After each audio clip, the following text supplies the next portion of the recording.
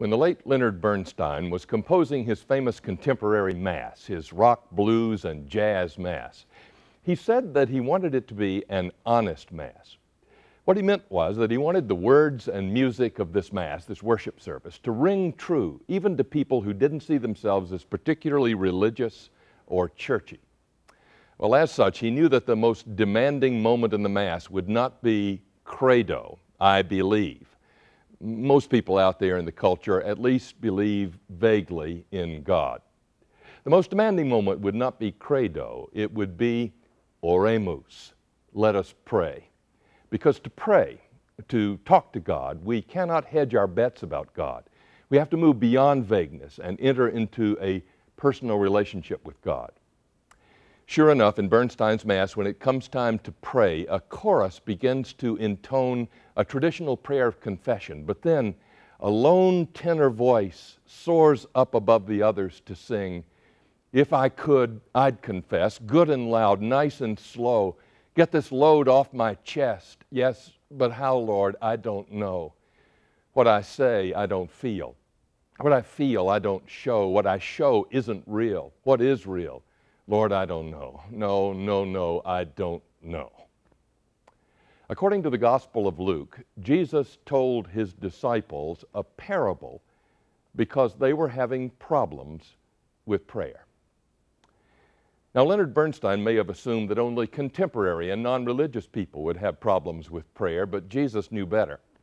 We all have problems with prayer. Jesus' disciples, even, were having problems with prayer. That's why Jesus told them this parable. We have many questions and issues and problems about prayer. Mainly, we wonder if prayer is really heard by God, and so many of our prayers seem to be unanswered. We pray for health, but there's still a spot on the x ray. We pray for peace, but the troops aren't home and the war rages. We pray for our children, but they still get into deep trouble we have problems with prayer. But when we go all the way down, our deepest problem with prayer is that we lose heart. We, we just lose heart. We lose confidence and trust and hope that our prayers will be heard and answered. We lose heart. And Jesus told them a parable that they might pray always and not lose heart. The story that Jesus told his disciples was about an absolutely horrible judge. Uh, th- this judge hated people and he hated God. Uh, he didn't go to church. He refused to give to the United Way. He's the kind of corrupt judge who makes a mockery out of the title, Your Honor. Unfortunately, appearing in his courtroom was a poor widow who needed justice, but who had nothing. She had absolutely nothing. She had no money, she had no husband, she had no standing, she had no power, she had no resources, she had nothing. She was so insignificant, she probably couldn't have gotten justice in a good courtroom with a good judge. But here she was in the courtroom of the worst judge in the land. Now, did I say she had nothing? Well, that, that's not quite accurate. She did have one thing she had the capacity to be a pest, to annoy. And when you only have one weapon, you use it. So she annoyed this judge constantly. She shouted aloud for justice in his courtroom Give me justice, give me justice, give me justice. She knocked on his chamber doors, left messages on his answering machine. She probably even found him teeing off at the golf club, shouting, Give me justice, give me justice, give me justice. Well, finally, she wore the old judge down. The judge said to himself, You know, I don't care about justice. I don't care about this widow. I don't like people. I don't like God. I don't care about anybody. But this woman is about to drive me crazy. I'm going to give her what she wants just to get her off my back. And that's the story that Jesus told us that we might pray always and not lose heart. Now, what are we supposed to get out of that story that will help us pray always and not lose heart? Well, some people say that maybe Jesus wants us to keep our eyes focused on the bad judge. He does tell the disciples, pay attention to what this unjust judge says. And if we pay attention to the judge, well, what do we see? What we see is that even though he was a horrible man, at the end of the day, he did give the woman the justice that she demanded and needed. So maybe what Jesus is teaching us is that even though the headlines in the newspaper often show a world of corruption and evil, this is, you know, God's world.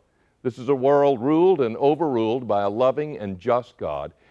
And at the end of the day, there is justice after all. Maybe that's what Jesus wants us to see. Well, I believe that, and I think that's part of it. But I don't think that's the heart of Jesus' story, because if that's all Jesus wanted us to see, the moral of the story would be take heart, things are not as bad as they seem. But the moral of this story is pray always and do not lose heart. Okay, maybe Jesus wants us to focus our attention on the poor widow. Did you notice how she went after what she needed? It was, after all, her persistence give me justice, give me justice that managed to wrangle justice from the unjust judge. I heard a delightful story the other day about the day that Mother Teresa went to visit Edward Bennett Williams, a legendary Washington criminal lawyer. He was a powerful lawyer. He at one time owned the Washington Redskins and the Baltimore Orioles. He was the lawyer for Frank Sinatra and Richard Nixon, among others. Evan Thomas's biography of Williams tells the story about when Mother Teresa came to see Edward Bennett Williams because she was raising money for an AIDS hospice. Williams was in charge of a small charitable foundation that she hoped would help. Before she arrived for the appointment, Williams said to his partner, Paul Dietrich, You know, Paul, AIDS is not my favorite disease. Uh, I don't really want to make a contribution, but I've got this Catholic saint coming to see me, and I don't know what to do. Well, they agreed that they would be polite, hear her out, but then say no. Well, Mother Teresa arrived. She was a little sparrow sitting on the other side of the big mahogany lawyer's desk. She made her appeal for the hospice, and William said, We're touched by your appeal, but no. Mother Teresa said simply, Let us pray. Williams looked at Dietrich, they bowed their heads, and after the prayer, Mother Teresa made the same pitch, word for word, for the hospice. Again, Williams politely said, No. Mother Teresa said, Let us pray. Williams, exasperated, looked up at the ceiling. All right, all right, get me my checkbook.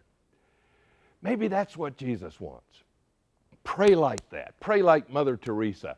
Pray like the widow. Cry out. Bang on the doors of heaven with insistence. Well, that's part of it, to be sure. But that's not all of it. If that were the whole meaning of Jesus' story, then the moral of the story would be be feisty, pray always. But the moral of this story is Pray always and don't lose heart. No, Jesus' story is not finally about the bad judge, and it's not finally about the poor widow. It's finally a story about God and about you and me. This story says if a poor widow with no standing can finally wrangle justice out of a judge without honor, how much more will you, God's very own child, the one formed by God in the womb, the one God who God has loved from the very beginning, how much more will you find a God who will hear and answer prayer? There's a famous story about a young boy named Frank who was walking along the bank of the Mississippi River and he noticed in the river another boy about his age wrestling with a homemade raft. He said to him, What are you doing? He said, I'm going to take this raft out to that island in the middle of the river. I dare you to go with me. Well, Frank couldn't resist the dare, so he scrambled down the bank and got on the raft. The two boys headed out to the middle of the river, but the current was swift and strong. And as they approached the island, the raft broke up and sank, and they had to swim to the island. And there they were, abandoned on an island, late in the afternoon. Nobody knew who, where they were what would they do? Right at that moment, one of those paddle wheel steamers started coming down the river, and Frank ran to the edge of the island, began screaming and waving his hands, Help, help. The other boy said, Don't waste your breath. They can't hear you, and even if they could, they wouldn't pay any attention to boys like us. But just at that moment, the paddle wheel steamer turned toward the island And the boy said to Frank, How did you do that?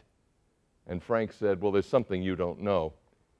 The captain of that boat is my father.